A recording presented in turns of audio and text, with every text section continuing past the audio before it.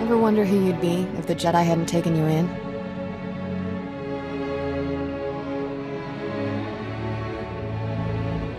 I was born to be a Jedi Knight.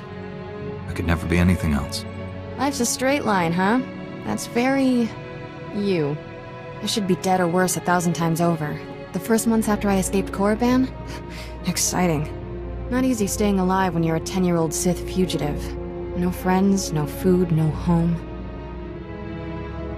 Leaving Korriban sounds hard enough. How'd you manage that?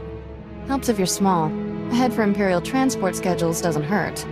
One day, a big freighter dropped off slaves and left with a stowaway. Jumped ship on Nar Shaddaa. Spent eight years sleeping in alleys. Good times. Finally got caught stealing a Starship hyperdrive.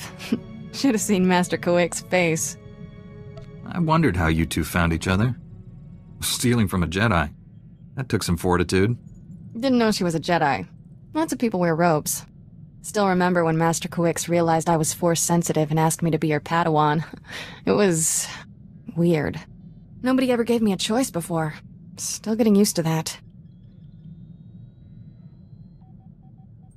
If the Empire conquers the galaxy, freedom will be the first casualty. Along with Phaseball Mom and sweet flatcakes. I get it. Point is, I know what I'd be if I weren't a Jedi. And I'm never going back.